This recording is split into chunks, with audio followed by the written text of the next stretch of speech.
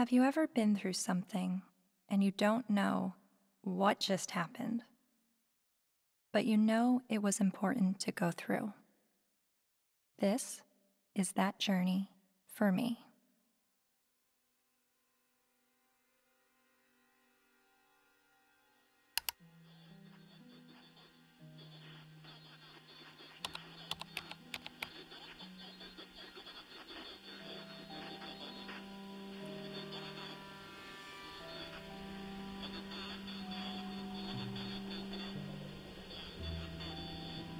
Misogynist rantings would be at home in the far reaching internet subculture widely described as the men's rights movement, a toxic distillation of the worst aspects of American sexism.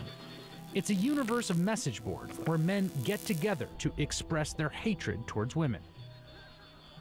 Well, I, I, thought men's have all the advantages in the world these days. That's utter nonsense. Men are routinely ground up in a family court system that is misandrist and biased against them. They are the majority of the homeless. They are the majority of suicides. They are the majority of the drug addicted. They are the majority of the unemployed. They are the majority of school dropouts. They are a majority of those in prison. How do we know that they're not the cause of these problems? I can't There's a reason what I just that heard women live longer, Mark. Let me tell you. It is because we are stronger Yes. and we are happier at the end of the day than most men. And that is factual, and you know it. And when men are married to women who scream like you, they just want to die sooner. I'm not When you have it, when you have women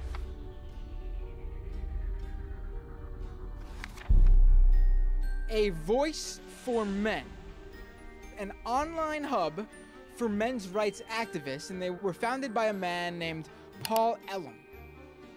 It's a website called A Voice for Men that's run by a man named Paul Elam, which is male spelled backwards, but it is his real name, apparently. It's a gathering of women haters. The Southern Poverty Law Center has classified that group and men's rights groups as hate groups. He wrote a piece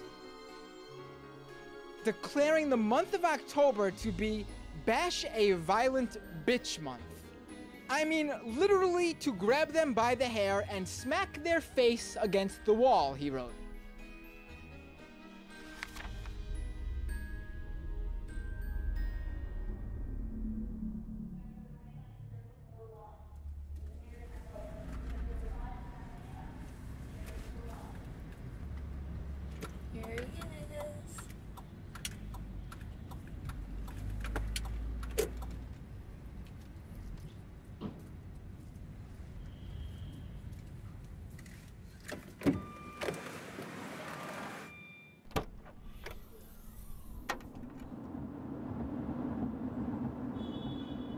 You may be wondering why I'm sitting in a car with notorious men's rights activist Paul Elam. That's a valid question. And to answer it, I need to start at the beginning the beginning of how I became a feminist. I was a quiet kid preferring to observe from afar. My mom put me in theater classes when I was eight years old to break me out of my shell, and I loved it. So much to the point that I decided to move to Hollywood when I was 18 years old to become an actress. What I wasn't prepared for was to be pigeonholed as the blonde who always died. Billy?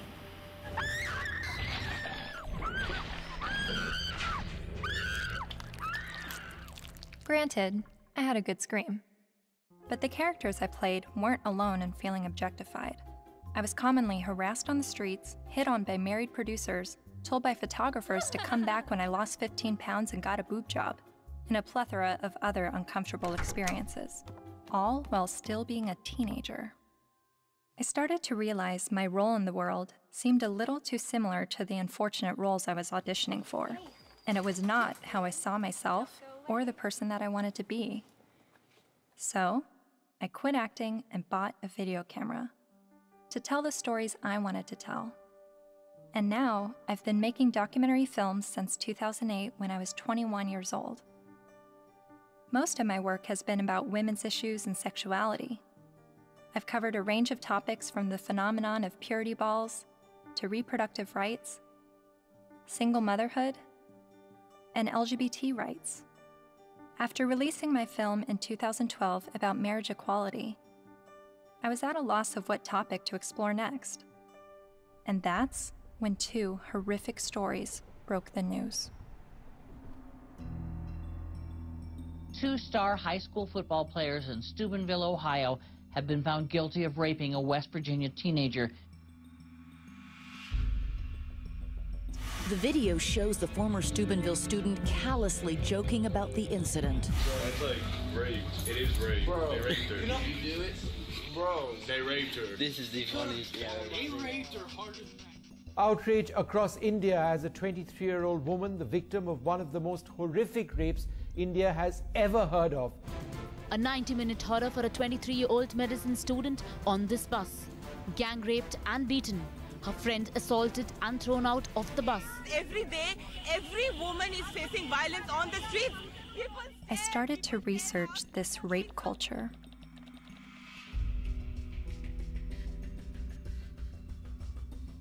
A website called A Voice for Men popped up. Paul Elam wrote about how women long to live out their rape fantasies, to be taken by a man she's never spoken to, let alone given consent to. As I read, I was asking myself, is this the rape apologist that I've been hearing about? The victim blamer who perpetuates rape culture? I continued to read A Voice for Men's website, often stopping around the halfway mark in every article because I could only read so many bitch, fuck, feminazi, and rape tard words per minute. But even still, I kept reading and thinking and reading some more. I was trying to understand how these, what I perceived to be women haters, could have so many followers.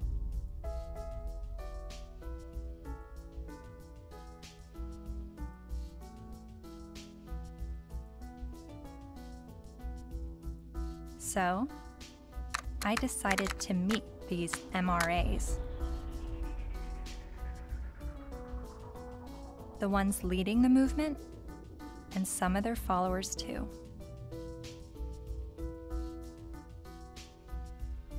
And this begins my journey down the rabbit hole.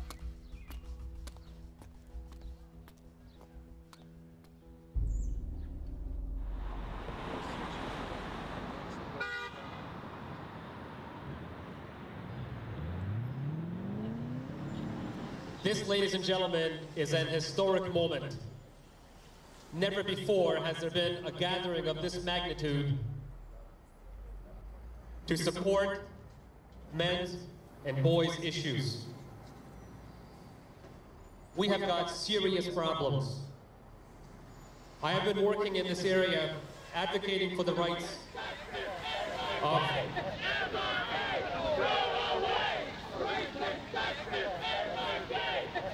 And here we go. What you'll hear is that we hate women.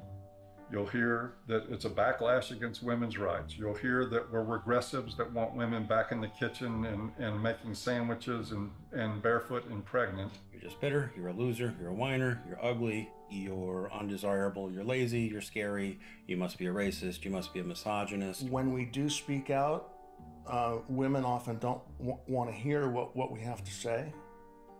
And so then we're called names, we're, we're called whiners. And this is the way people who don't want men to talk about issues try to shut us up. Um, we all know that you guys are a fascist Nazi friend group of white supremacists.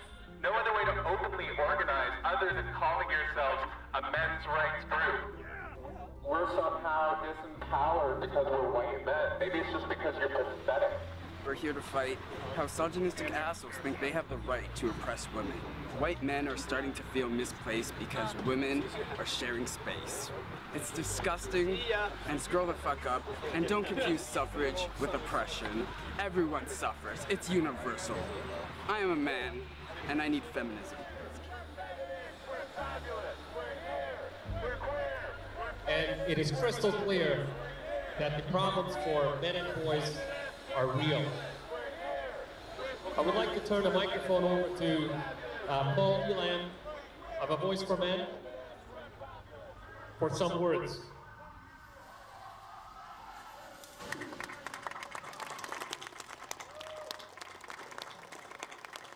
This is a historic day. I've never seen a gathering like this out of concern for the general state of affairs for men and boys in this culture. And as trying said, to articulate the entire platform of the men's rights movement is kind of like trying to understand a snowdrift one snowflake at a time. It's a very, very complicated matter. Just consider this that 93% of workplace fatalities are men, four of five suicides are men. Men are dropping out of higher education at very alarming rates. We're down to 38% now of college students are men, and it's dropping rapidly. Male suicide, male abuse, male unemployment, male homelessness, male failure in education, male health issues. We've got the paternity fraud issue, uh, the wrongful paternity issue, a false allegation issue. Men are sentenced to 63% more prison time for the same crime as women. They're less likely to see a doctor. They're less likely to have health insurance. The family court system truly is biased against men. I mean, there's just no question about it. And it's really the pro choice for women only movement because men, they're denying men any kind of choice once a child is conceived. Her body, her choice, right? Think about men. His body, his choice, not so much. Because the U.S. government does not want to send you to die. They would rather send me to die. Young men that are failing to launch, they're staying in their homes of origin far past the time that we would normally expect them to individuate and move out and, and go live their lives. We have video game addiction, we have pornography addiction, we have uh, the abuse of young boys with drugs like Ritalin to manage their behavior. Almost all victims of autism spectrum disorders are boys. Boys are most likely to be homeless, most likely to get cancer, most likely to die young and of every major cause, most likely to be arrested, prosecuted, imprisoned, and even executed while being completely innocent. It doesn't matter what their race is. It doesn't matter what their ethnicity is. It doesn't matter what their religious or non religious views are. It doesn't matter if they're gay or straight. Men and boys are in crisis and they need your help and they need your support because they are human beings too. And you will not shame me or anybody here into silence about it anymore. But if you start to talk about those issues and address them in, in terms of how they affect men and boys as a group, people get hostile about it. The idea is that men have all the rights, they've always had the power. But if that's true, why can't men talk about their problems? And that's what really got me interested in this to begin with. Shortly after I began filming men's rights activists, I realized my own views were being challenged. I kept a video diary throughout filming, and I've decided to share some of those diaries with you. I really do feel like learning about the men's movement and their specific issues, the issues that they have issue with, it's hard for me to completely understand them and just automatically feel welcome in that space of talking about these issues because at least with feminism whenever i heard about the issues that feminists were fighting against i always felt like i had something to draw from and experience to be on board with that and that's always been why i've been drawn to the feminist movement is because a lot of what they spoke about i had personal experiences with and with the men's movement i have very little personal experiences with the issues that they talk about.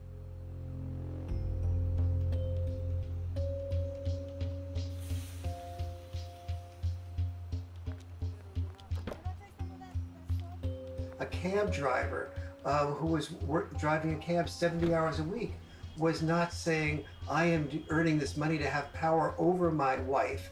He's, he was earning this money even though it took power away from his life.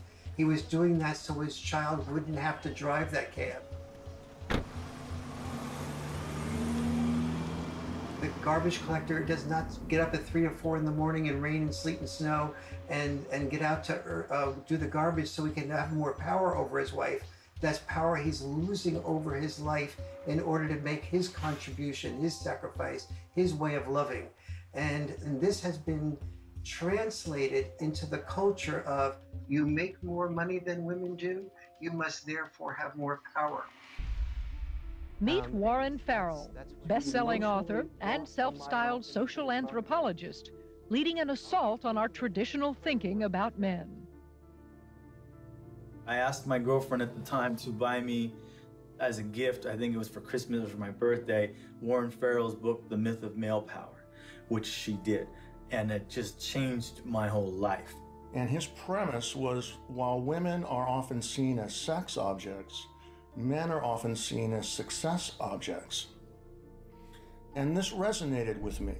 He wrote this book that, that questioned our notions of power, of who had power and where it was. And it questioned the roles of men, but not the way feminists had always questioned gender roles. Every society that survived survived based on its ability to train its sons to be disposable. Disposable in war as warriors, disposable in work as firefighters, as workers on oil rigs and so on, coal miners, and indirectly, therefore, disposable as dads.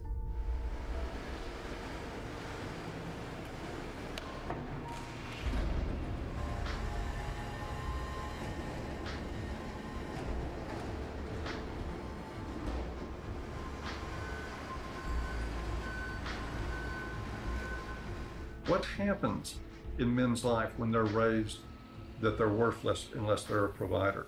That they must work, even if they have to take on extremely dangerous work, they must get this done or they're useless as men. That is very, very powerful stuff. See, feminism did see accurately that we value male work more than we value female work. But um, there's also the issue that we value female life more than we value male life.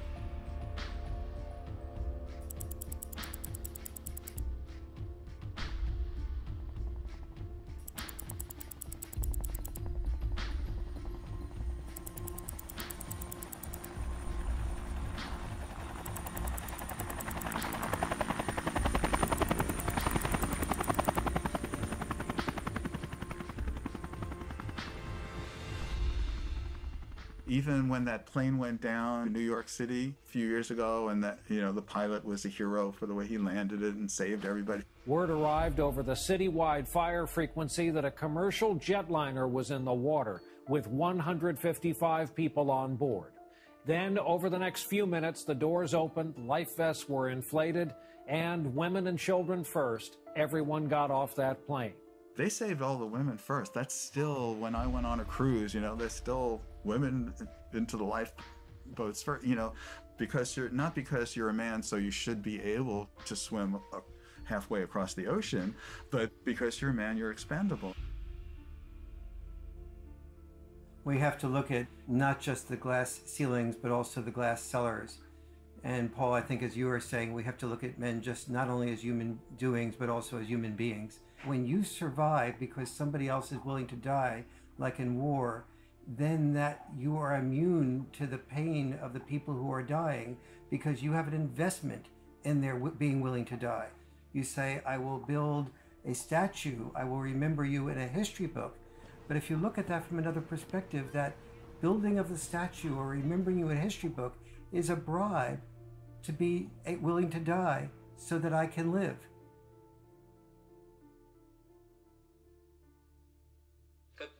Sexes in the area where they are rejected tend to turn what rejects them into an object.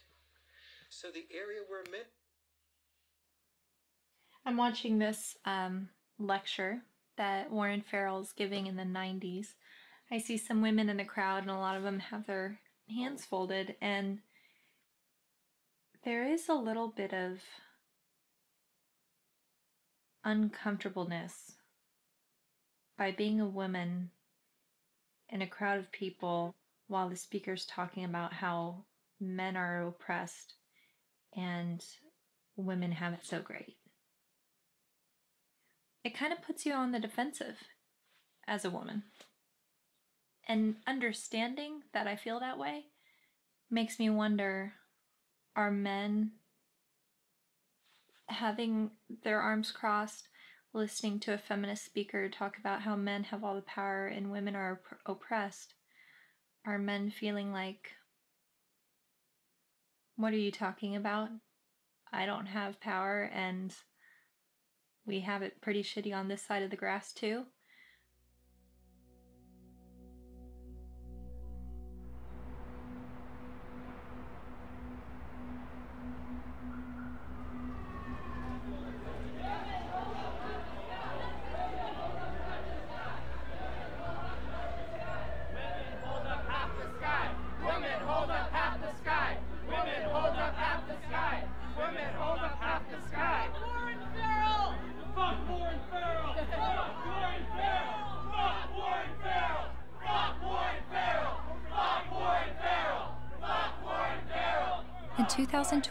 Dr. Warren Farrell was speaking on behalf of men's issues at the University of Toronto in Canada.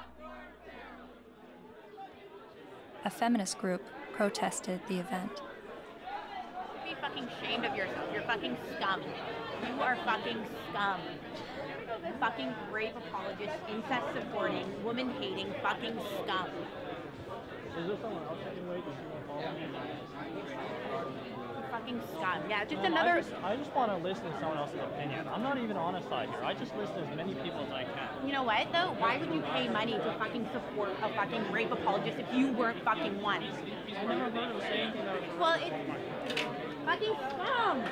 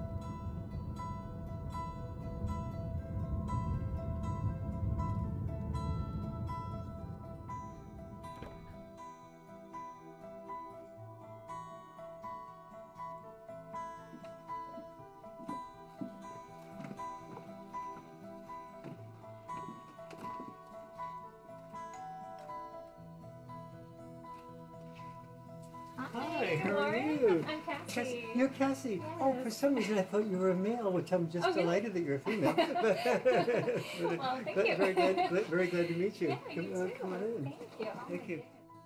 But Farrell wasn't always so attentive to men. In fact, for years he focused almost exclusively on women's issues, rubbing shoulders with feminist leaders like Gloria Steinem. And he's still a card carrying member of the National Organization for Women.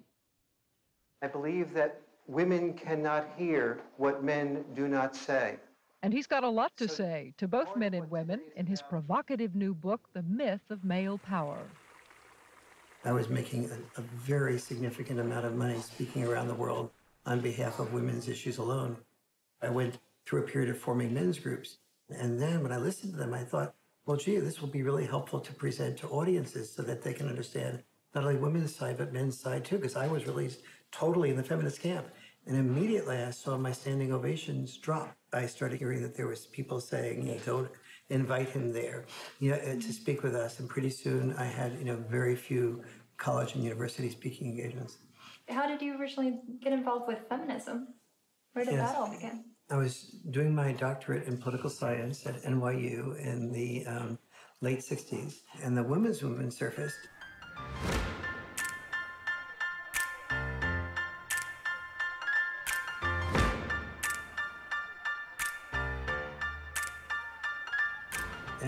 Started to say, this is the most exciting thing I've ever heard because I'd heard of civil rights, gay rights, But suddenly, women were saying, I don't want to be confined to just being a homemaker or a secretary. And so it's like, why shouldn't women be encouraged to do everything they possibly can do? And at that point in time, I saw a lot of women marrying men that they weren't completely in love with, but they the man earned a fair amount.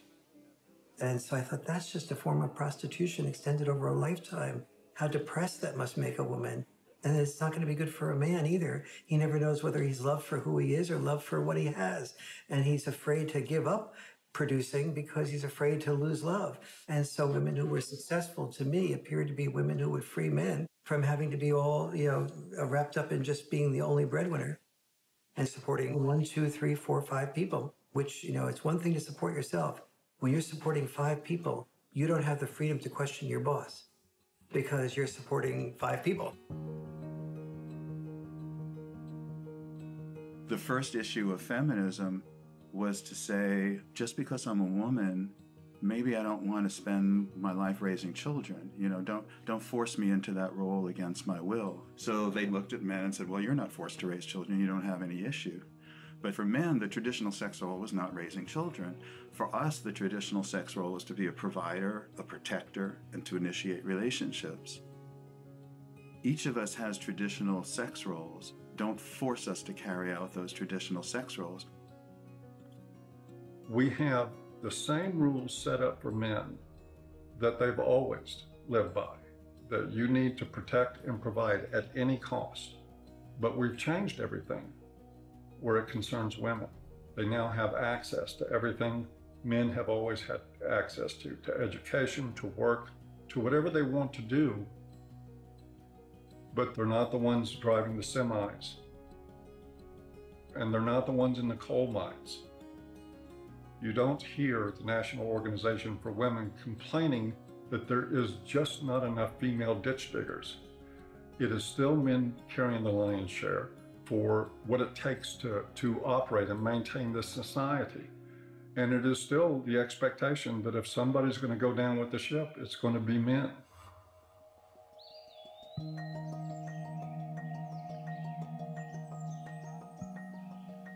Flexibility in roles is where we should be all headed. Um, any men's rights activist that I would support would support the portions of the women's movement that is um, encouraging women to have more flexibility in roles. So, where do the men's movement and feminism disagree? Well, only on the fundamental belief that the um, women's movement says men are the oppressors, that they are, we are involved in a patriarchal world in which men um, invented the rules to benefit men at the expense of women. But don't we live in a patriarchy?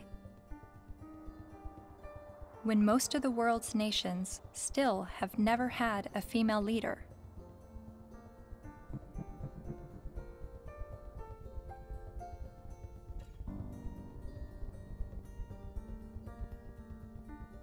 and less than 5% of CEOs of Fortune 500 companies are women. You have to look at this in a larger perspective. Patriarchy is the result of gender roles and not not the vice versa. Traditionally, women's power and responsibility has been in the reproductive sphere while men's power and responsibility was in the productive sphere. You know, you have to reproduce to continue the species, and you have to produce to feed people so that they can reproduce. So, you know, it's, it's like they work together.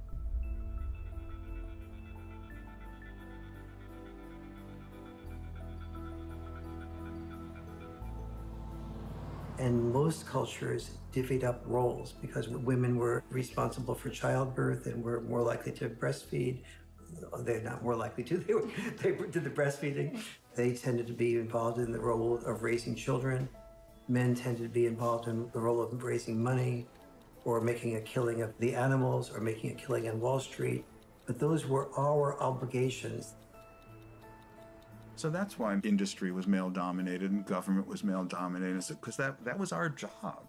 And so what we call patriarchy is men giving into the expected roles that they're supposed to give into, and many of those roles are very harmful. Working exceptionally long hours, difficult hours, dangerous jobs, getting killed on the job, even politics, a lot of people describe as masochism.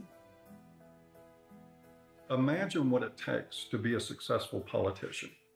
Imagine how much of your personal life that you give up, how much you work, how much privacy that you sacrifice, how much freedom in your day to day life that goes out the window. There are more men willing to do those things than there are women. But also, just because men are the ones, for instance, writing the laws in general, doesn't mean that the laws are protecting men. You hear about patriarchy, right? All the evils of the world's from patriarchy, but we're the ones dying. You know, and we die for you guys.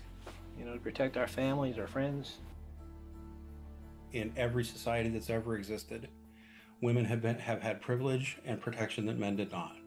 For example, we never hear about how men were excluded from the Forced Labor Convention of 1930 for years. The Forced Labor Convention was an international treaty that banned slavery and forced servitude, but it made an exception for able bodied males ages 18 to 45. Eventually, they got rid of that, but there was still an exemption for prisoners and military, which is 90% male. Stop pretending that you're oppressed and men are your oppressors. It's a lie, and it's a hurtful lie, and it's a hateful lie, and it's wrong.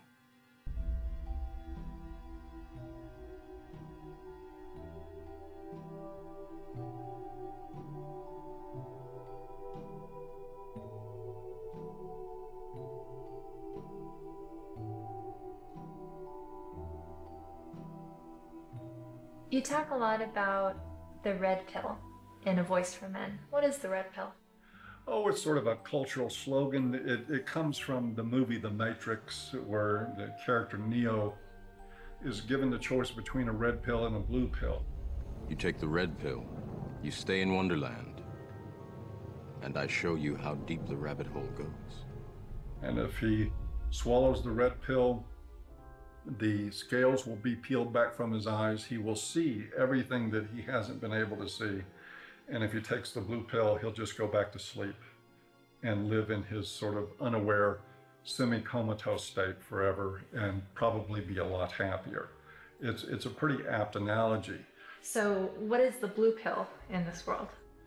Well, the blue pill is the paradigm that most people live by that men have all the power, that they've always had all the power, that uh, domestic violence is a problem that's committed by men against women only, that sexual assaults are only committed by men against women, that women don't make the same money for the same work as men. Teach men not to rape. Only men can stop rape. Men commit domestic violence. We need to stop violence against women instead of just stopping violence. That is feminist training. The MRAs say that we live in a blue pill world where women are victims, men are perpetrators, and it's all a lie.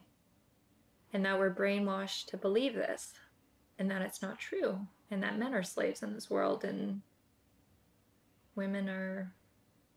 I don't think women are necessarily the puppet masters, but I think they're saying that women have the easy way out and men are um, they're given medals and statues and written in the history books to justify them dying and being slaves to work or being uh, being used to progress societies.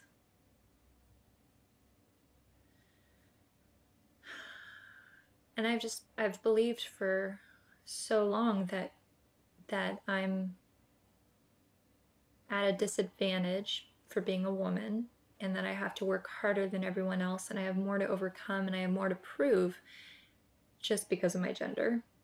But the MRAs are saying that this is all a lie and that guys are actually the ones that are dis- disadvantaged and discriminated against. And actually, the more I learn from him, the more I think thank God I wasn't born a guy. Um, because I, I don't think that the the expectations on men is good or healthy. I mean, they, they have so much pressure to succeed and to be strong and to stand up and protect others and to put their lives on the line. I don't think I would want that responsibility. But, you know, 50 years ago, no, I wouldn't have wanted to be a woman.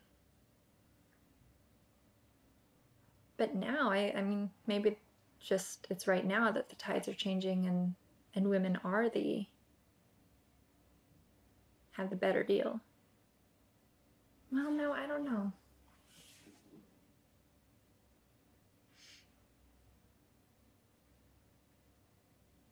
And then sometimes I think the MRAs are just duping me and giving such a strong pitch about what they believe in to convince me of something that's actually just some out there theory that men are discriminated against and women are have the advantage. Yes, this is Cassie Jaye. It's regarding a documentary about the men's rights movement, and uh, we're looking for feminist uh, voices now to speak in the documentary.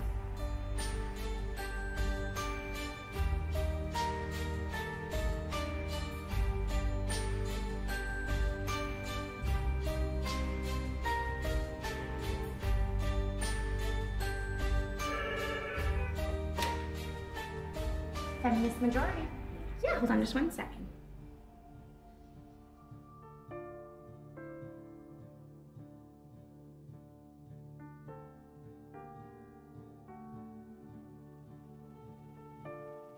Realized, okay, I need to bring some feminists Right. into the mix, make Good. sure that we have that side Good. spoken for. I was researching rape culture, and so that's how I stumbled across a website called voiceformen.com. So some of the people that we've already interviewed uh, on the MRA side is Paul Elam with A Voice for Men. Yeah. Are you familiar with him? Oh, I'm familiar with them. I've never met them. Yeah. Obviously, they've they spent a significant amount of time and energy denouncing me, so I figured I might as well have a look at what they say. Yeah, really, the men's rights movement is part of the backlash. The backlash? To feminism. The men's rights movement really got going as women began to make gains. And some men have felt threatened by the opportunities that have been opened up to women. And I don't know if it's because uh, some of them feel threatened that they now have to compete with a lot more people for their jobs. Uh, they now can't get into the best schools if a woman or a girl has better grades. Think about it. Grandfather's generation probably had it pretty well, right? Um, all of his needs, his shirts were ironed, his, all of that was always taken care of. Well, you know, grow up. Realize the world has changed. Um, and as much as the MRAs would like things to go back to the way they were um, and use the argument that women have an advantage now. No person looking at the data can possibly say women have an advantage. We're just beginning to get an even, a level playing field here. Uh, it's not tilted in our favor, I can tell you that. And they know it. They know it. But it's the, it's the constant uh, distortion of the data, it's the spinning of a situation to make it look like women are somehow uh, getting ahead, getting an advantage they don't deserve. Um, it's, uh, it's part of the backlash. Political organizing comes from a feeling of victimization, which is why the men's rights movement makes that claim that men are the victims of discrimination. But it doesn't have much traction because, you know, you, you look around and it's hard to see it. We don't have movements called, you know, straight liberation. You know, is the men's, the question I would pose rhetorically is, is the men's rights movement really the gender version of the white nationalist movement? Of, because there are plenty of white people who say that they are the victims of reverse discrimination. So it's, of course, it's not going to have very much traction. You can't really organize the people who are superordinate.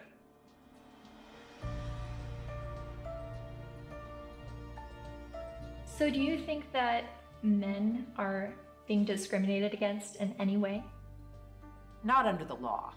Uh, Men are not disadvantaged under our laws. Um, or in the business world, as a class, men are not underrepresented on corporate boards or at the top of the Fortune 1000 companies. in the corporate world, in the in the business world, in a lot of parts of academia, in the military, in the sports world, still pretty much a male-dominated world, and where a lot of the privileges and power and status accrue to men. Men are advantaged over women, no question. No one can, no one can uh, debate that. Not with a serious, um, in, not in any seriousness.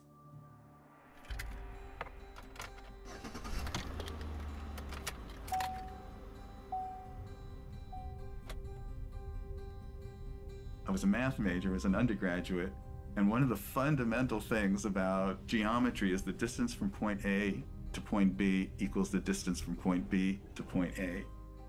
And if women are so different from men that men can't understand the female experience, we need to listen to women to describe it, then the male experience is so different from the female experience that you can't understand it. You need to listen to us. You can't really compare how men and women have suffered from sexism. Um, because there, there's no way to quantify, you know, that kind of suffering. So if a woman says, well, I miss 30% of my income,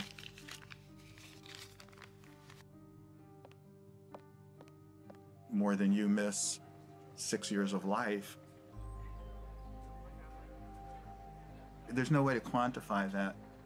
Or I've lost a job opportunity because I'm a woman. There's no way to say, well, I've suffered more than you because you've lost a kid because you're a man. You know, we can't. But it's serious. It is serious, and um, and at least if you if if you're denied a job because you're a woman, at least you can go to another company and apply for a job. You know, but you can't when you lose your kid. Like you can't say, well, okay, I'll get custody of that kid. You know, I'll try for that one. It's it's it's a terrible thing that that happens. There was a case, the Serpico case. You might be too young to know the movie Serpico with Al Yeah, Pacino. It's about a New York City undercover cop. He gets shot at the end of the movie and retires from the police force. And he was a real man, Frank Serpico. A woman after the movie, after this was made, um, decided she wanted to become a single mother and tricked him into fathering a child. And the court accepted that because she told her friends she was going to trick him, and they testified. And the court said, Yes, you were tricked into it. And still awarded her over 90% of his police pension. So everything that he goes through in this movie to, to you know, including getting shot to earn his, his pension, she won by sleeping with him one night. My son's mom wanted to have children with me, and I had always refused, you know, saying, you, you have this anger problem, you need to get counseling. I'm not going to consider having children with you until that's dealt with. Because she would lose her temper almost every day and, and just use any weapon she could. And like a child's the perfect weapon. So I was really definite about that. But she also used to proofread my articles for me. And I wrote an article for Playboy about Serpico. And when she read that, she told her friend she's going to trick me into fathering the child. She doesn't need my permission. And so that's how my son was conceived. Then she said, if you want to see your son, you have to stay in a relationship with me. But if you break up with me, I know all the things that a woman can do to a man. You know, she's, she's read all my articles, she saw my talk shows. She said, I know all the things a woman can do to a man, and I'll do them to you. So um, that's what I had to deal with. Like everything that I had been raising awareness about for the previous 17 years, then she combined into one thing for me to live through. It's really ironic. For the first five to seven seven years, I guess, we would see each other four times a day for exchanges. On average, every single day, I had to deal with some scene. A scene meaning she would just not show up, you know, and or she would hold the kid out and then pull him back and hold him out and pull him and just kind of play with me, or she'd let me have the kid and then she'd stand in front of the car so I couldn't move. You stay in Mommy Town tomorrow. You stay in Mommy Town for a couple of days, two days, and then you come back to Daddyville. Another time I saw her hold him by the shoulders and say, Daddy is a bad man. Daddy is a very bad man. And so he had to go through this long custody battle and, and the, the decisions that they would make, you would just go, wow, there couldn't be any explanation. You know, either they're absolute idiots or it's biased. There's just no other explanation for it. One other thing, his mom is obese and wanted him to be obese for various reasons. One thing is so he would identify more with her side of the family than mine, because we're all all thin. Another was uh, so that he would enjoy being with her more, because when he was at my house, he had to get activity, you know, and eat well balanced meals and get a sleep and stuff. And, and at her house, they would bake brownies and stay up late and just watch TV. And so, where would you, if you're a little kid, you know, where would you enjoy being more? But he self reported to the mediator how upset he was about being obese. That the worst thing in school was when kids called him fatty and how, how he cried. And his physician said that he's really concerned medically. And then when I did, he was at an age where he would um, imitate things that I would do. You know, I gave him a broken shaver, so when I shaved, he would pretend to shave. And what I did was I started weighing myself every morning and, and writing down my weight, the date and the weight. And I taught him how to read a scale. So he kept his own records. So I had six months worth of statistics to show consistently that every time he was with his mom for a few days, he'd come back weighing three or four pounds more and then he'd lose it while he was with me. So they had, you know, that how much he was upset about the problem. They had his physician being upset about the problem, and they had the proof of where the problem lay. So the judge's decision was um, that father should no longer be allowed to weigh the child. Problem solved. After 14 years, my body gave out. I got sicker than I've ever been. I realized I'm going to die. That's not going to do anybody good. I've got to give up the fight. So I gave up custody. And so I, I don't see my son anymore. He hasn't been in my house since. Um, so, so I did lose him. Just like a dream.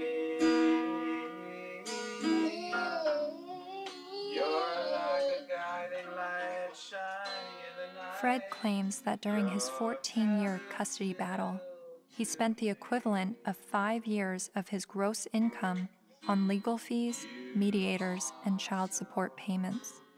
I was really in his life a lot longer than most fathers would have been. It's something most fathers can't afford. You are so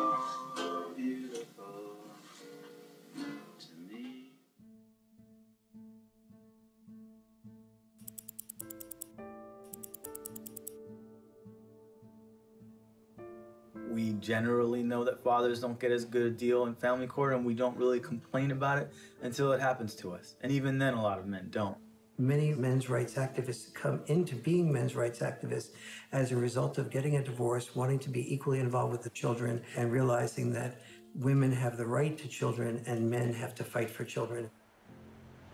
When your family courts run on the supposition that mothers are more fit to be custodial parents and that fathers are more fit to provide a check every month. And to become what we like to call uncle daddy where they visit visit their children. To me that's one of the greatest obscenities in the world the idea of visiting your own children where you get to see them for two hours on wednesday night and you get to have them for x amount of hours every other weekend. And you have no say in how they're brought up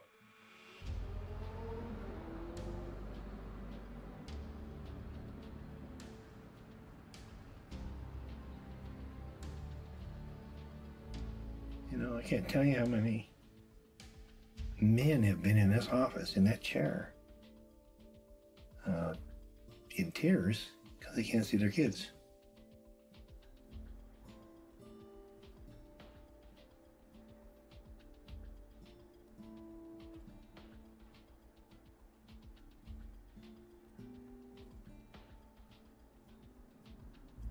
some of this stuff ends up in horrific consequences.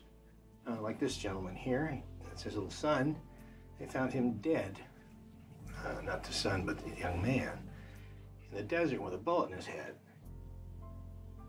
Day before the family court, uh, where it became known that he was going to get to see his little guy even less.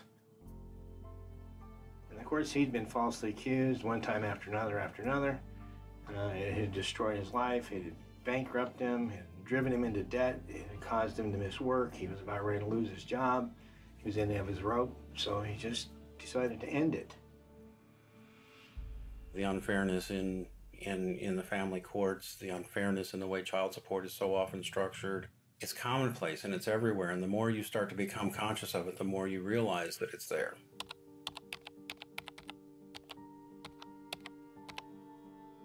I started to research some father's rights issues and came across some harrowing stories. Like this man in South Carolina who found out his only daughter was adopted away by the mother without his knowledge or consent. His daughter was with an adoptive family in California, so he began his fight to get his daughter back. Adoption is for children without families, not children with a willing and capable family. And this man in Colorado who lost his daughter when the mother left the state to give birth in Utah, where he wouldn't have legal rights to his child. He fought for four years in court and finally won visitation rights. Only visitation.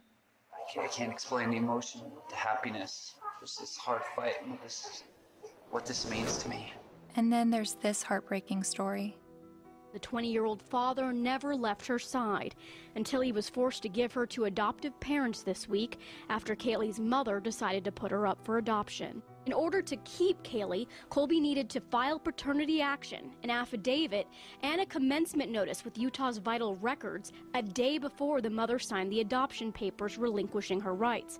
But in Colby's case, the mother only gave him a few hours' notice of what she was going to do. I would like her back men in the men's movement are not upset about having to be fathers. They're upset because they're not allowed to be fathers. That guy blows his head out, blows his brains out of family court? And people don't think there's something wrong with that? And we just open the doors tomorrow for business as usual, and that's okay?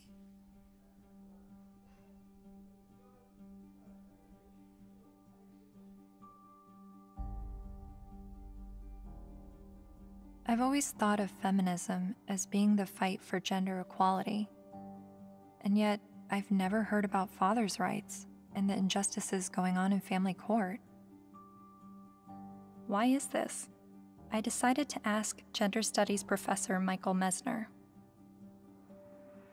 Well, uh, I'll just say I, I, I don't think it's, I, I don't think that, that a lot of their assumptions are correct to start with. There's no doubt that there have been some men who get just screwed by court uh, decisions and custody cases. But I think when you look at the broader patterns, um, you know, it's still the case that um, in intact heterosexual families with with kids, um, women are still doing the vast majority of the housework and childcare, and and a lot of there's a lot of sort of father absence, lack of participation by fathers. Some of whom I think then after divorce happens, um, end up um, uh, suddenly wanting equality, you know, as, fathers when they haven't really been participating equally as fathers before.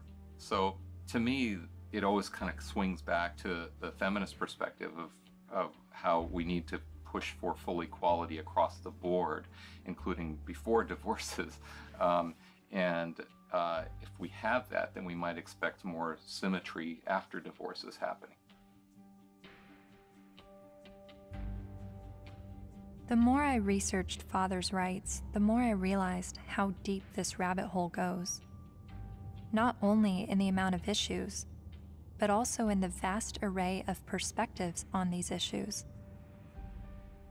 I decided to create a flowchart of what I thought father's options might be following a surprise pregnancy, I then put a green line for the paths that I thought would be good turnouts for the father, and I put red lines for the paths that seemed to not be good for the father. Then I created a flowchart for women's options and did the same with green and red lines. And as I stepped back, I saw all the red lines for the women's options if she does not want the child. But something dawned on me. Of every path the biological father could go down, he's at the mercy of the woman's sole discretion. Although women have very difficult choices to make, she at least has the choice. But for biological fathers, they have no say over their parental destiny.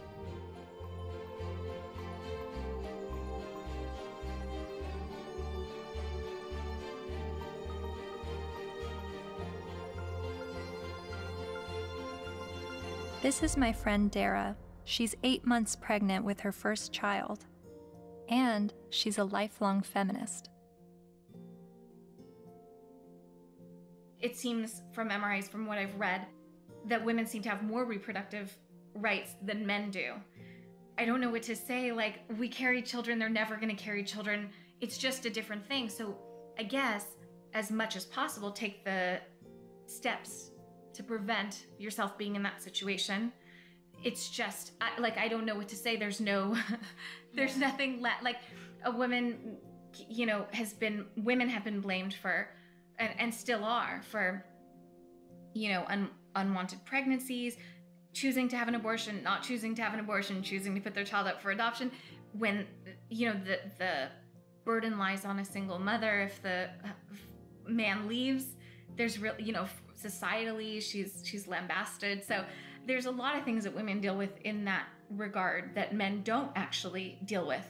So i can have compassion for their situation but i don't know that it's going to change in the way they want it to because it's biology you mm-hmm. know so if you're going to be having sex uh, that could result in pregnancy and you haven't had this conversation with the woman that you're having sex with you better have it you better have it fast that's when the man has the ability to make decisions uh, either not to engage in sex or to use uh, condoms and to use other forms of contraception. So that's where his role comes in. Once he's impregnated her, she's the one now faced with continuing a pregnancy, faced with the health risks that accompany pregnancy. So his rights have to be uh, exercised early. But once she's pregnant, uh, all decisions must be hers because ultimately um, she is the most impacted. There's just no question. And she ultimately has the responsibility for that child.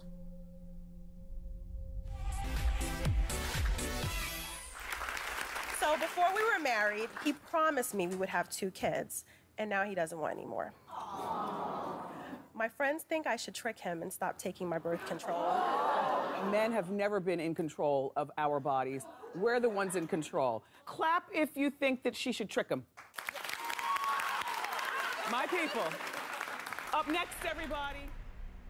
So it sounds like men's reproductive rights are limited to the choice of whether or not to have sex and the choice of whether or not to use protection. But what if he's tricked into fatherhood? Or what if he's not even the father? What does paternity fraud look like? It's ugly. It's extraordinarily ugly. And we have to distinguish between paternity fraud and wrongful paternity. What's the difference? Wrongful paternity can be innocent. Okay, we went to a party. I had sex with six guys. I think it was when I was hanging out the window I got pregnant, but I wasn't sure. But you know, if anybody knows that guy's name, would you please have him call me? And then she names one of the other guys, and he didn't have sex with her. It wasn't malicious, wasn't intentional. She wasn't trying to harm anybody. She was just trying to figure out who it was. Wrongful paternity. More often, and less facetiously, okay, I'm married, I had an affair. Obviously, here, there's all sorts of problems because there are more victims than the person who's named as dear old dad, who may be the wrong one. There's everybody involved in the family, like a situation in Texas where the family had five little towhead kids, all guys, all little blondos. And all of a sudden, one day, one of the little blondo kids gets in trouble, has to go to the hospital. They can't get a hold of mom. They get a hold of dad. Dad rushes the hospital, needs to give blood. Whoops. Can't do it. Wrong blood. What? All the kids look alike. Turns out it was the guy down the street. You've heard of this case? No, it's a real case. Oh. So what happens to this family? Can you fathom what happens to this family? How do you think the kids feel when they find out dear old dad isn't dear old dad and it's the guy down the street? How do you think dad feels? That these five little boys that he still loves dearly, when he finds out they're not his bio children, but he still can't tear away because he loves them. He's devoted himself to these. How do you think he feels? I mean, it's horrific. Horrific. That's not wrongful, that's deliberate. So that's paternity fraud. That's paternity fraud. She knew who the father was and lied about it. Paul was right when he said trying to understand the men's rights movement is like trying to understand a snowdrift one snowflake at a time. There are unique father's rights issues that vary between unmarried, married, and divorced dads. But there are also men's rights issues for non biological fathers. Like this man who is facing jail time for failure to pay child support for a child that DNA tests prove isn't his. Carnell Alexander still owes more than $30,000 to the state for a child that's not his because the mom wrote his name down because she needed to name someone in order to get welfare benefits. And I had to put him down as the father. That was the only way I can get the system. I'm almost homeless. I'm almost in jail. I'm out of work. My money is being threatened to be taken. He says the law needs to be changed so when this happens, as it often does, other men don't become dad by default.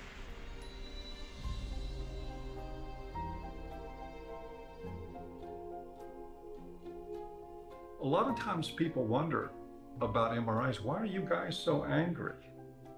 And my answer to that is, why aren't you? How can anybody look at this and not be angered by it? And the only answer to that I've ever been able to come up with is that people aren't angry because they don't see men as human beings.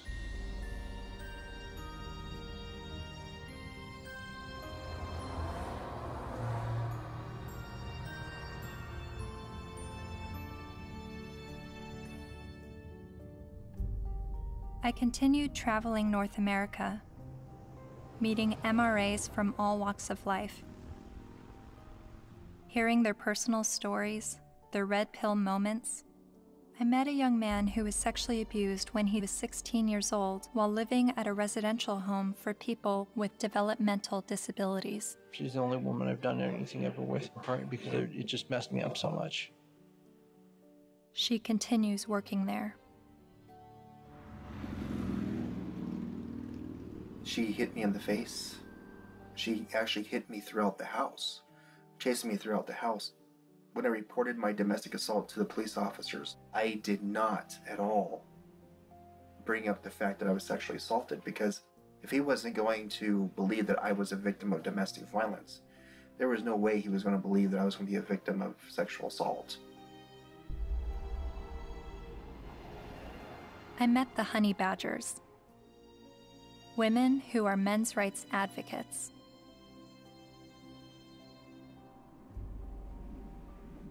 And then there was a 15 year old boy, there's a 35 year old woman, and then later on she came out of jail and she was able to collect child support from this boy that she raped. Yeah. After getting out of jail. So there's there's lack of fairness for men in the court systems. When police officers would show up to domestic violence case, there was often men were just taken away without asking what even happened. It's just presumed that men are the criminals. I was assaulted several times, you know, and, and I never got any help. I went to the police still bleeding a couple of times. Um, and one police officer said, uh, I'll, I'll never forget this. He said, if she starts hitting you again, you better get out of there fast because if she just breaks a fingernail trying to hit you, we'll arrest you. I mean, I can't tell you at this point how many guys I've talked to who are like, yeah, you know, she stabbed me and they put me in jail. Not only are there endless studies that show women are just as violent as men are, when I would talk about it, invariably men would start coming out of the woodwork with stories. Stories they were afraid to tell, stories that they got laughed at for, stories that they got blamed for. It's it's hideous. This is not flattering to men to talk about men's vulnerabilities. No. To talk about the ways that they are not strong and that they they are well weak. Um, and to be honest about it, it's not flattering. Uh, a solution for both genders is that we need to be able to recognize how men are vulnerable and we need to be able to recognize how women are actors. Uh, because we have a huge blind spot, especially when women do bad things.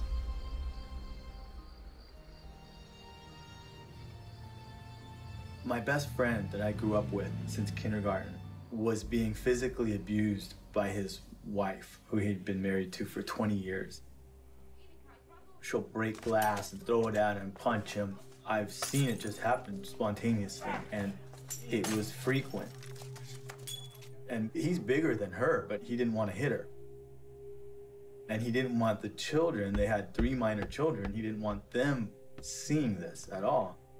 So he would usually just go outside because there would be glass breaking or things being smashed or yelling, and he knew that the neighbors might think it's him. So he would go outside so the neighbors can see what's happening. Eventually, I said, "Look, you're gonna need you need professional help, and so does she, and maybe the kids do too." So I called a bunch of domestic violence shelters. I I just looked around online and I called, but every place that I called said, "We don't help men. We don't help male men at all." And I started becoming curious about why that was because I learned that these were state funded shelters. And I know that men pay at least half of the taxes that fund these shelters if they're state funded. And I just was wondering why. So basically, I, there was no place to take him. And it, it just continued. The problem just kept going.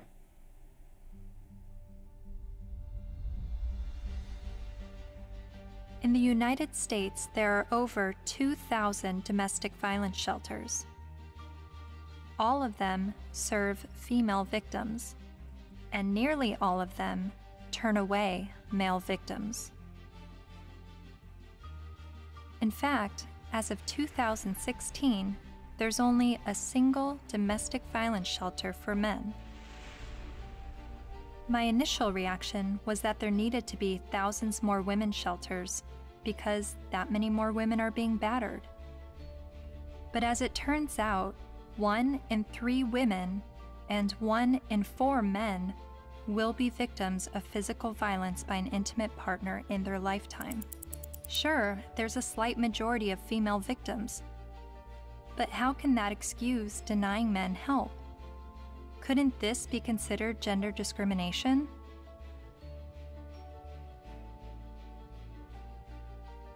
Think of it this way roughly 78% of all suicides are men. If suicide prevention services only served men, wouldn't we see the gender discrimination immediately? If there are over 2,000 women shelters that turn away men, and only one shelter for men, obviously the resources don't match the need. How are you involved in the men's rights movement? Well, from the very beginning, when I first opened the refuge, which was in 1971 in Chiswick in London, uh, almost as soon as I took the women in, I got a house for men. A Voice for Men's editor at large, Erin Pizzey, founded the first ever women's shelter in 1971, and she is widely revered in the men's rights community. Because you see, what I knew from the beginning, most domestic violence is consensual. Both are involved. Sometimes one's the perpetrator, the other plays the victim, then it crosses over. It's not, it's not as though it's just all men or all women, it's both. And occasionally innocent victims, very innocent. Battered children grow up to batter, that's what I learnt. Whether it be a man or a woman. And I now know that if a woman comes in with a history of violence in her own childhood, the chances are she will be probably violent to her children and she will want to live on this knife edge of crisis and danger. I haven't been allowed to speak, that's the difficulty. Why is that? Because I'm completely barred from all conferences. I, I'm not allowed to walk up the step of my own refuge. I bought the bloody building.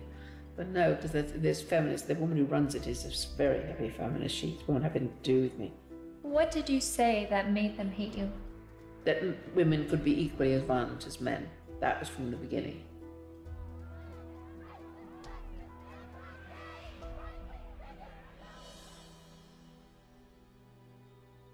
Erin Pizzey says that 62 of the first 100 women to enter her refuge were just as violent as the men they left and violent towards their children.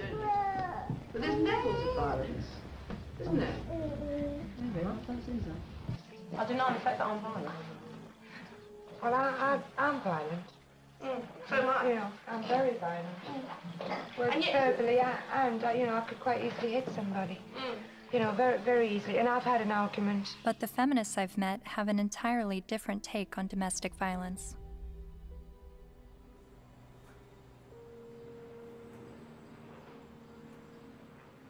On the whole issue of domestic violence. Um, that's just another word, really. It's a cleanup word about wife beating, because that's really what it is, or dating violence. Uh, and it's not girls that are beating up on boys, it's boys that are beating up on girls and using violence to intimidate and to control. And we have very few what's called domestic violence shelters, which are places that women can leave their home with their children and get a new start, get out of the violence. There are not nearly enough of them. We need more funding and more resources because it, it is a tremendous um, disadvantage for women and girls.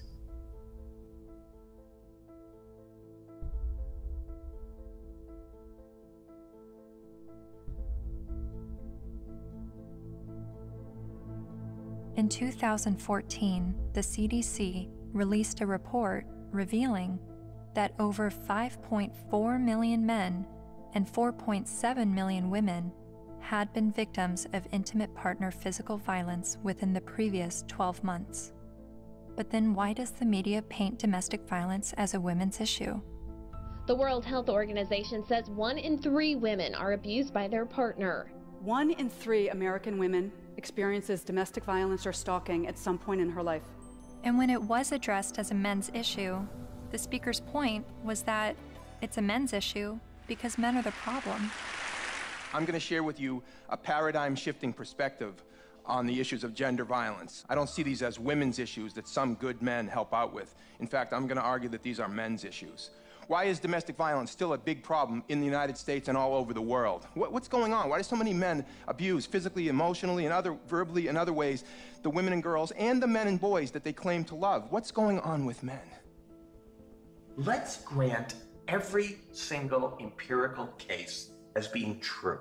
Yes, it is true. Let's just say, I mean, it is not true, but let it, let's just assume that, that there is gender symmetry in, gen, in domestic violence, that women hit men as, men as much as men hit women.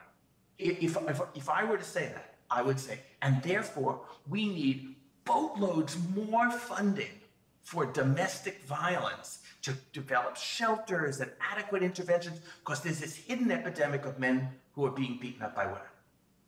Or I could say, as the men's rights movement do, therefore we shouldn't have these shelters and we shouldn't fund them because the women are all lying. Well, it seems to me that if you really believe in gender symmetry, it's not that you want to, you're not questioning the, the number of women. You're just saying the number of men in society. You would want to join with women who are anti-violence to say, we have a real problem here. You know, it's not even a gender problem. It's a problem of women hitting men and men hitting women. We've got to get boatloads more funding. Let's work together. That seems the logical response to this. But instead, they're saying it's like a zero sum game. If if we fund the women, then we're going to ignore the men. Well, we're not ignore, we're not going to ignore the women because we all agree that the levels are as high as we say. But it does sound like a zero sum game when only women are receiving services in domestic violence situations. And of all the men's rights activists I've met, none of them question the number of female victims, but they are calling attention to the high number of male victims that are being dismissed. So, why aren't men's rights activists and feminists working together? Michael Kimmel briefly said something that made me wonder. He said it would no longer be a gender problem if both men and women were equally victims of domestic violence. Is that why the number of male victims are never addressed? To me, it's been fraud for all these years. Why is it we have this enormously powerful feminist movement and virtually nothing for men? Originally, it was capitalism was the big enemy in the 60s and 70s. And it was the radical feminists in America. They moved the goalposts. They said, no, it's no longer capitalism is the enemy. The enemy is patriarchy. All men.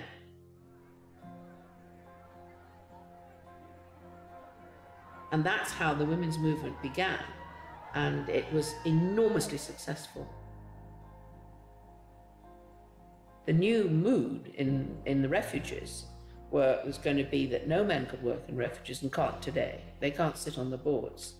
And boys over nine or possibly 12 can't go into refuges, or you call them shelters. Their mothers have to make other arrangements for them, which I find shocking. And it ring fenced money.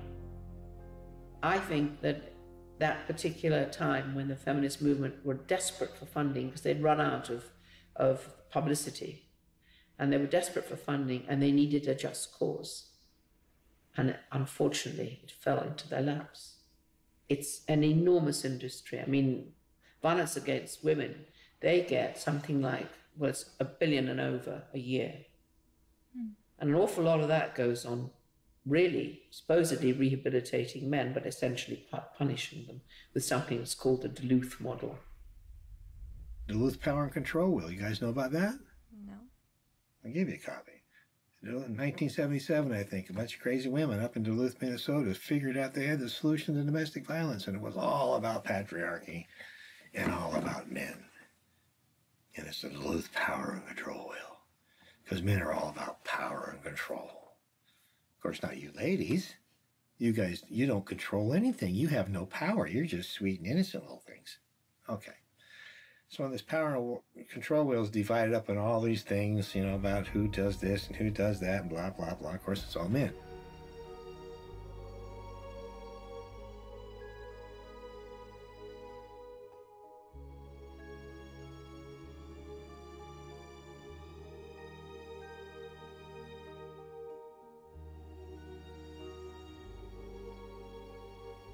Entire domestic violence industry was founded on, on that. I think it's still 37 or 32 states in the United States that by law they have to use the Duluth model for battery intervention programs, and it's all shame, blame, and guilt driven. If you're a man and you walk in, you must admit you did it up front or you're in denial. There's no debate, there's no discussion, there's no possibility that you could be falsely accused, the criminal justice system could have made a mistake. None whatsoever. You are in a state of denial, and you will complete that course or you're going to go to jail. You will be re engineered. Frightening? Frightening? Yes, that's frightening. I think it's terrifying. Absolutely terrifying. All I had to do, I a simple choice. I could just say, yes, you're right. Men are the enemy. No problem. But I couldn't. I absolutely couldn't.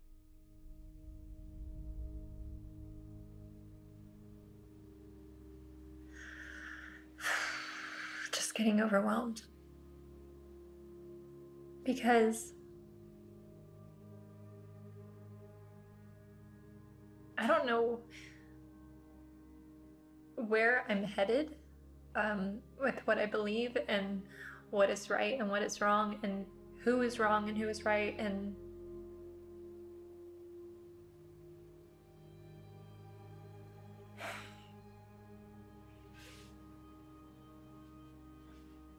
the truth is somewhere in the middle and that's why I'm feeling frustrated because I don't know where the truth is and I don't know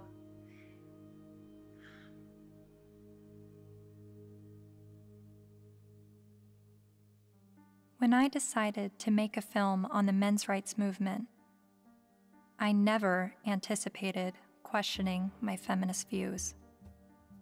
But the more MRAs I met, the more I felt compelled to remind myself why I was a feminist. I signed up for a women's group. Welcome to our Women on Your Power workshop. Only 4% of the Fortune 500 companies are led by women. Women only hold about 14% of corporate executive positions and less than 20% of our governmental positions. I made video diaries complaining about how I had to change what I wore to walk alone at night, how much time it took me to get ready for work, all the housekeeping that was on my shoulders. In comparison to other gender issues, these videos seem trivial, but I made them nonetheless. I attended women's rights rallies. No to violence. That's what we are here for, to say no more to violence in any form, especially against women and girls. I repeated women's issues in my head like a broken record female genital mutilation, sex trafficking, reproductive rights, maternity leave. And social media helped remind me of women's issues. We have fought for everybody else's equal rights. It's our time to have wage equality once and for all and equal rights for women in the United States of America. We are struggling for a uniting word, but the good news is that we have a uniting movement. It is called He for She.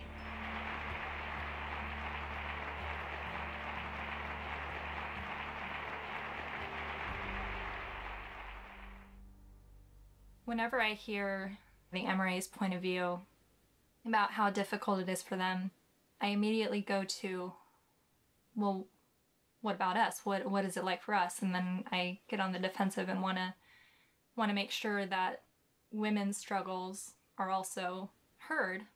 And I don't know if that's necessary because the MRAs are saying that the feminist um, perspective is the mainstream perspective. But even when I hear their issues, I still want to speak up for the women because I feel like I don't know why I feel like talking about one gender's issues now neglects the other. And I guess that's what MRAs have been dealing with is always hearing about women's issues and feeling like their issues are neglected. But whenever I hear them talk about men's issues, I feel like I need to stand up for women and say this is what we're dealing with an equal opposite.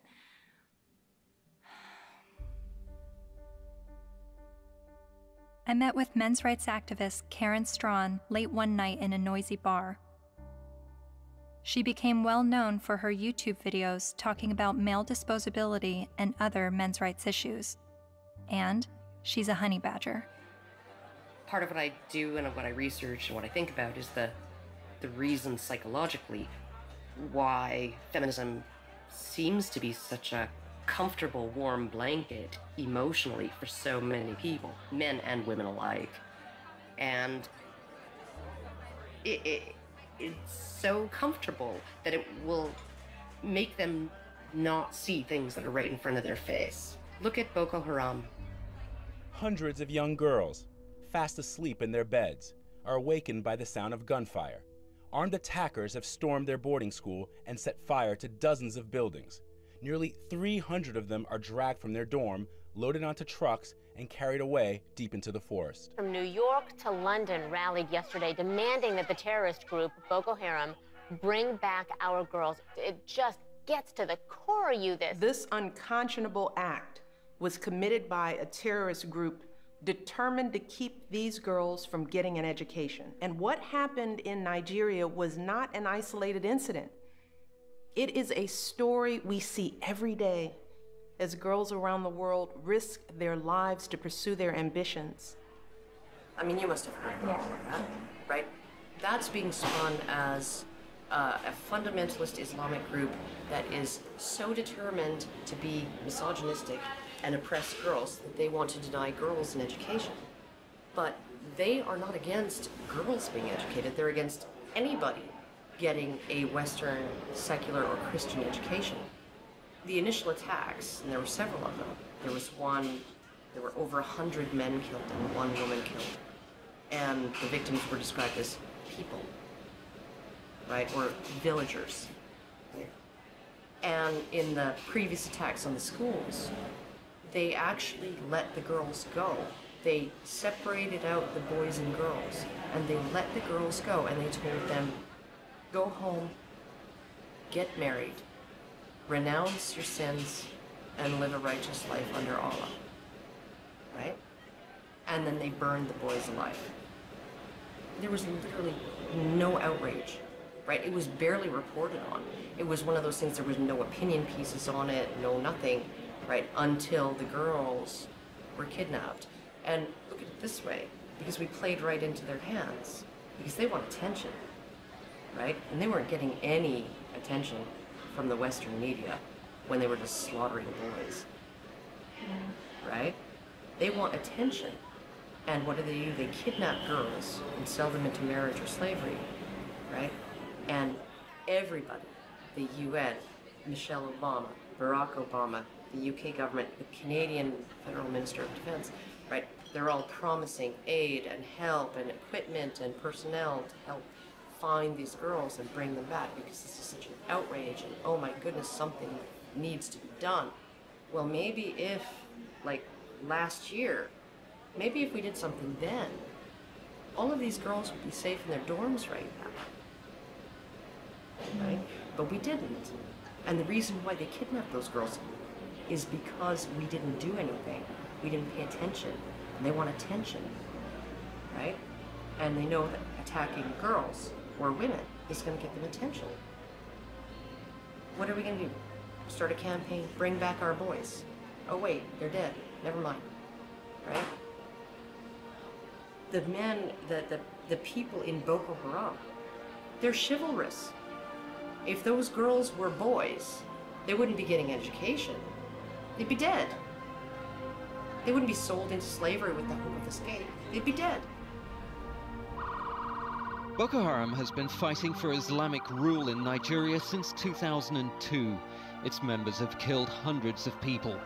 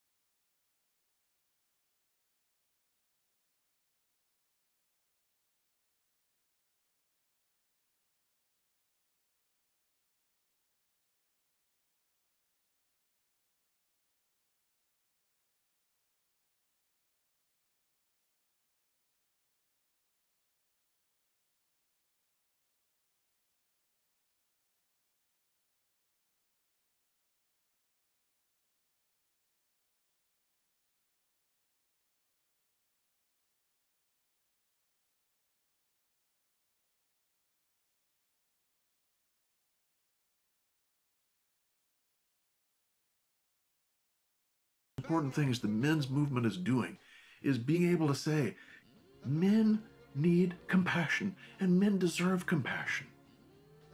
And to have that happen, I'm not expecting it in my lifetime. It's an ocean of pain out there. This stuff we're talking about has been going on for so long.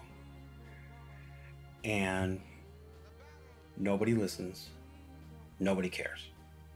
It's one thing when you look at uh, what happens to women and you, and you feel normal, healthy outrage about it, and that should happen. But when you can look at what's happening in our courts to men, in our medical establishment to men, in our schools to men, and yet we remain so cerebral about all of it. Yes, well, that is certainly something to consider. If it were happening to any other group, we would be having protests from coast to coast. And the fact is that it is happening to men every day, right in front of our eyes, and people will get angry at you if you try to talk about it. That's how deep the prejudice runs. But there have been protests, not with the intention of shining light on men's issues, but rather with the goal of silencing any discussion of men's issues. Like at Ottawa University, when Professor Janice Fiamengo attempted to give a lecture that questioned the feminist narrative.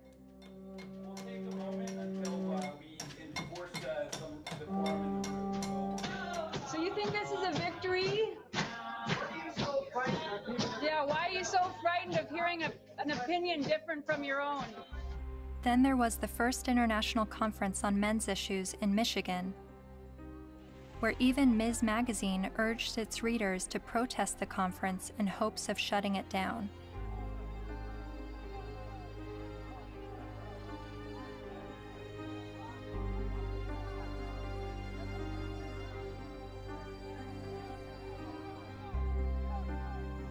But perhaps the most well known protest of a pro men's rights event happened in April 2013 at the University of Toronto when the Canadian Association for Equality hosted a discussion titled From Misogyny and Misandry to Intersexual Dialogue.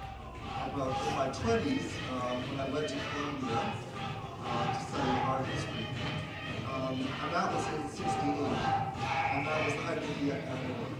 So suddenly I was confronted with the direct possibility of being drafted for combat. And um, I discussed that with uh,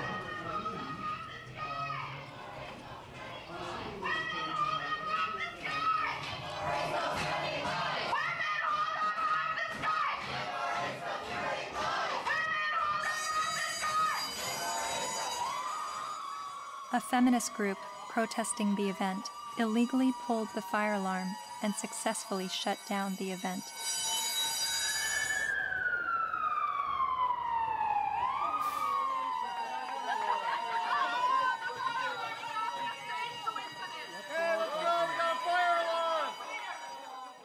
Once outside the lecture hall, feminist protesters and men's rights activists got to speak face to face.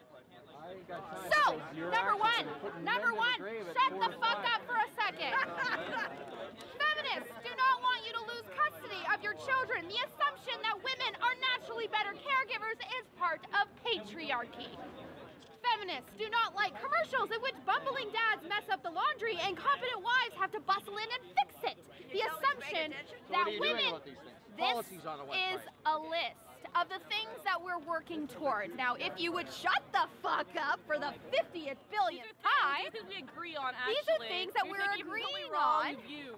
And these are things that you've actually all got skewed fucking views on. You think that feminists are trying to take away your fucking rights, but it, as a matter of fact, what we're trying to do is we're actually trying to work on the same things that you're working on, but except the fact that you're so too bit, you're just too busy hating women. you're a you hate can't group. fucking You're a see fucking hate that we're group. trying to Can work you- on those same situations. Are you conflating feminism, which is an ideology, with women, which So is is a MRA, but demographic whatever, of it's societies? Okay, Mr. So you Derailing for Dummies. Okay. feminists. You're still a hate An group. ideology. Yes. I, you know, Okay. I also hate a lot of other isms. So you know, admit, though, this is- Racism, sexism. quote you on bullshit, uh, bullshit, fascism. I hate a lot bullshit. You hate sexism, but you're an MRA. Okay, no, point taken. We like we win. You obviously haven't Sorry. literature. Oh, okay. You don't actually work on anything. We are actually You're not creating any change in the fucking world. Your fucking website, your fucking website's a hate website against feminists. You're not actually creating any change. You're not Feminists do not want you to have to make alimony payments. Alimony is set up to combat the fact that women have been historically expected to prioritize domestic duties over professional goals, thus minimizing their earning potential if their traditional marriages end. Right here, you The don't have to yell, assumption. I'm reading, fuckface. But Some, for the I, fucking cameras. I'm trying to fucking. I'm letting everybody else hear it, okay? It's not just for you, Mr. Entitled. The assumption that wives should. Why do you think the men's rights movement is at odds with feminism? What has created that clash and that war between each other? Well, one, feminism has spent the last 50 years demonizing men, which is sort of one of the problems. Feminist scholars have characterized men as inherently violent, inherently bad, inherently predatory, inherently oppressive. They have postulated that masculinity is a disease. Feminists aren't the only problem. They didn't the problems didn't start with feminism. So when I start criticizing feminism, I want you to know you're just part of the problem. They're just part of the problem. You calling men oppressors and women oppressed demonizes men and I believe diminishes women at the same time. It's a way of telling men to shut up. It's a way of telling men that their experiences don't matter. You tell a man he's privileged, therefore, anything he's gone through or anything he has to say doesn't matter. His lived experiences don't matter because he's privileged. So, how old were you when you started calling yourself a feminist? Or how many years ago? Uh, it was probably about three years ago, I guess you can say. I'm relatively new. Yeah, but I'm pretty loud, so violence only helps the oppressor, not the oppressed. A lot of MRAs say that feminism doesn't fight for the rights of men. What would you say to that? Crimea River.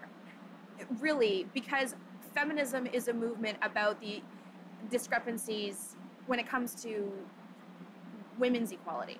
Because we're not up, we're still not there yet. You know, so don't don't even start with that whole, oh, but you don't think about the men's issue. Well, then you know what? Start your own goddamn movement, which they have, but maybe make it a little more about legitimate issues like custody and alimony and things that you think are unequal, which all stem from patriarchy, not from, oh my god, feminists are trying to take away our kids. No, dipshit. That's not what we're trying to do. We're not trying to do that. I mean, if they look at the root causes of why, for example, you know, women get custody more often than men do. Women are supposed to be the mothers. They're supposed to be the natural born caregivers. So obviously, duh, you has a vagina, so obviously you're going to be able to take care of the kitties. That's that's really what it is. It all stems from sexism against women. It's just the oppression dialectic needs to go. It's so hard to convince people to look at men's rights activism and support it without first allowing them to at least escape the stranglehold that feminism has on their minds. I, I do believe it is dogma, ze- it's zealotry. There are good people in the feminist movement. Um, there are not good people in the radical feminist movement. Um, that system is based on hate. And hate is, in my opinion, hate's the most destructive force in the world. They're so quick to call us man haters or misandrists. Misandry for life. No, like they're so quick to say that when we're all we're doing is talking about like patriarchal societies and, and structures that we want to dismantle. Um, nothing against men in particular, but just saying, hey, this is the system that we live in, and this puts men above women, and it's not necessarily their fault, but hey, recognize what's happening here, and let's work together to dismantle it. the omnipotent, ever present patriarchy, the invisible force that directs all of our lives, right? And causes all oppression and all suffering, right? Our devil. and the beautiful, wonderful force for justice, feminism, the way. It's the way. It sounds like religion. It sounds like religion. And oh my goodness, for a, a movement that's only about equality and isn't blaming of men. They name the force for evil after men and the force for justice after women. And this being a movement is very, very, very concerned about the implications of language. So concerned that if you call a firefighter a fireman, it will discourage little girls from aspiring to be firefighters. And sometimes discourage grown women from aspiring to be firefighters, right? By calling them firemen. But we can call the force for all oppression. We can call that essentially men, patriarchy, right? And we can call the force for good and justice women. And that kind of language, that has no implications. We're not blaming men. We just named everything bad after them. They're really angry, and they're angry at women, they're angry at feminist women, they're, um, but yes, men have gotten a crappy deal but it's not the fault of women or gay people. When feminism says that they have no part in any of this, I think they're not being honest about it. I don't blame feminism for all of it, but I think they've had a role in it. They've written laws that discriminate against men. They fought to protect those laws, particularly in domestic violence areas.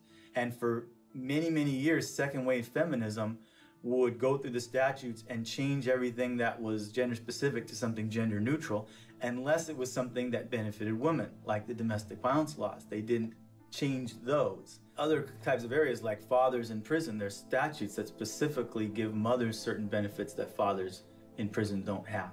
And I challenged that as well legally, but we didn't win on that one. When I wanted to get a commission on men, like the county has a commission on women, the feminists fought that tooth and nail when Prop 209 was before the California voters, which was to end affirmative action, every feminist organization opposed it. Every time men's rights groups try to pass joint custody legislation, feminist groups fight them. They fought us on paternity fraud. The biggest opposition that I have faced has been from the radical feminists that said, we don't want truth to be the standard because if we did, they wouldn't oppose automatic DNA testing at birth. And in countries like France, they're saying, well, DNA should mean do not ask. Because it's now illegal to even get a test. And if you get a test without the mother's permission, you will be criminally prosecuted. In Sweden, they tried to create a man tax in India, the men's rights movement is trying to get the rape laws to include male victims, and the feminist groups apparently are fighting that. I'm not saying all feminists are this way, but I think the ones who are affecting public policy, who have the lobbying power, I think they are. If you just look at their actions, they don't want equality for women. They want special privileges for women and girls. And even though they know in a lot of areas men do not have equality, they are silent. The commandant of the Marine Corps said that he thinks, and I quote, all eligible and qualified men and women should register for the draft, talking about selective service. Do you think women should also have to register for selective service like men? I have to think about whether uh, I think it's necessary to go as far as our military uh, officers are recommending. The idea of having everybody register uh, concerns me a little bit unless we have a better idea of where that's going to come out. Where I want people to register, I want every young person to register at the age of 18 to be able to vote automatically. And I think if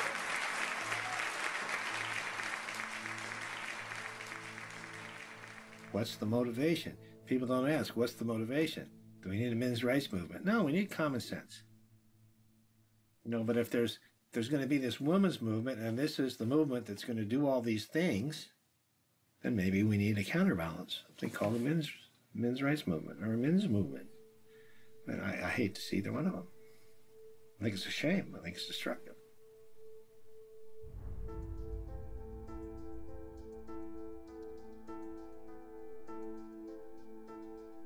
I'm hearing what the men's rights activists are saying, and I'm finding the sources to support what they're saying. Men are just as likely to be victims of intimate partner physical violence. Men have little to no control over their parental destiny, especially when he's tricked into fatherhood or he's raising a child that he later finds out isn't his. The sentencing disparity between men and women is six times larger than the sentencing disparity between blacks and whites. So while a black man may be sentenced to 10% more prison time for the same crime as a white man, a man is sentenced to over 60% more prison time than a woman arrested for the same crime. Boys are falling behind in education. They are enrolling at lower rates and earning less college degrees. And while not all MRAs agree on the issue of infant male circumcision, most MRAs do believe it is a human rights violation. I spent months learning about infant male circumcision, but it only took me watching a five minute medical training video to convince me this is a barbaric practice that needs to stop. Okay, so first thing, make sure he's well restrained. To the foreskin, okay? And we repeat the process with just one end and clamp. Anything that gets clamped gets cut. All that was left a partial penis and his tiny testicles. Rhodes says Ashton urinates through a hole in his penis. She says she can't imagine now what she'll say to her son when he's old enough to understand what's happened to him. How could you explain it to your child that you don't have a penis or you might never be able to have kids?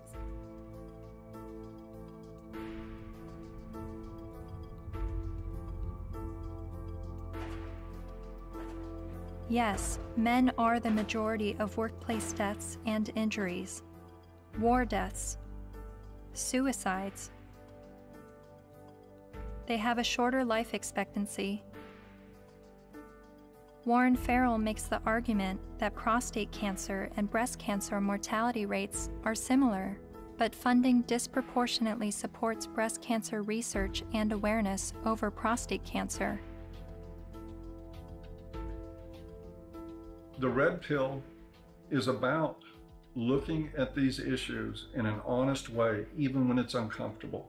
And it, these things are uncomfortable, but without the willingness to set aside the programming and to set aside the false beliefs about what power is and what women are uh, and who women are. Part of what we do is a pretty serious critique of both sexes. It's brutal. But critiquing the sexes is a real valuable thing. Feminists don't want you to do it though, unless you're portraying women as victim and men as perpetrator. The red pill is about understanding men and women like everything else in life. It's a mixed bag. You've got victims and perpetrators on both sides of the fence. And that's all. It's, it's real simple. It's just not easy.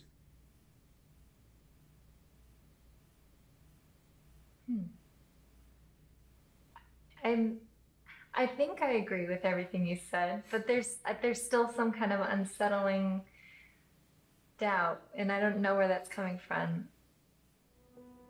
I'm recognizing all of these very serious men's rights issues. But what I don't understand is how I could be agreeing with men's rights activists. Is this the same misogynist hate group I originally discovered online?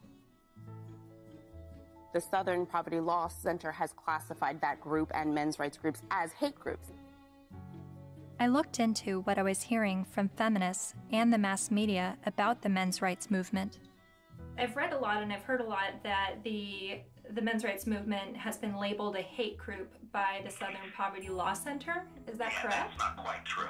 No, they, they got it wrong. No, we this was somehow written up on some kind of anti-men's rights uh, websites as we us having listed them as, as hate groups and so on, and we didn't do.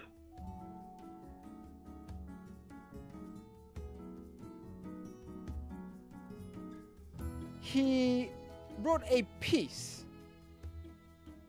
declaring the month of October to be Bash a Violent Bitch Month.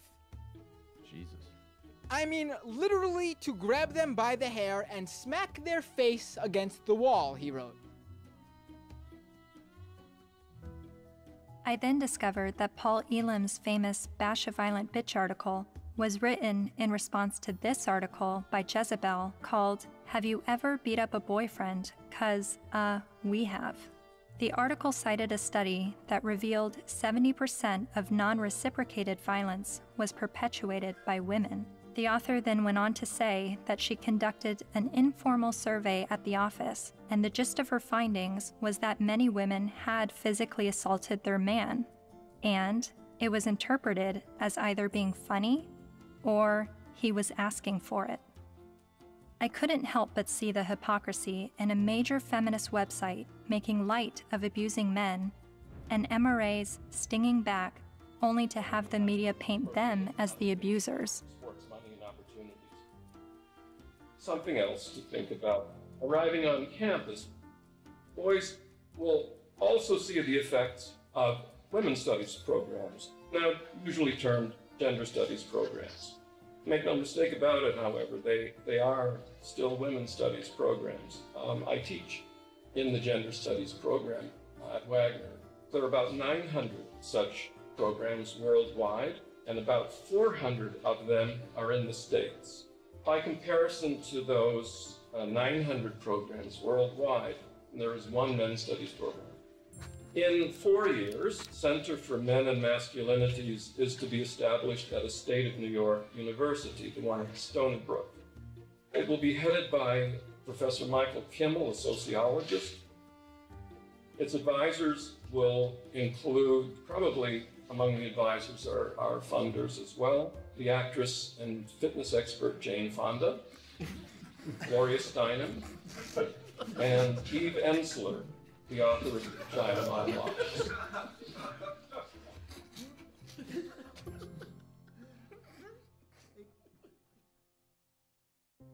After my year of filming men's rights activists and feminists, my descent into the rabbit hole was not slowing down. My education on gender politics was really just beginning. I learned about other sectors of the online manosphere, like MGTOW, Men Going Their Own Way, and a forum on Reddit called The Red Pill, which is separate from the men's rights community and they do not see eye to eye. I'm told an easy way to remember the difference is that while MRAs want to change the system, Reddit's The Red Pill want to take advantage of the system, and MGTOW want to leave the system. There are so many perspectives on gender, and I believe they are all worthy of listening to. However, the conversation is being silenced. For a society to accept anything said on behalf of women's rights, and then to shame any dialogue about men's rights and call it hate speech is precisely the problem. I don't know where I'm headed, but I know what I left behind. I no longer call myself a feminist.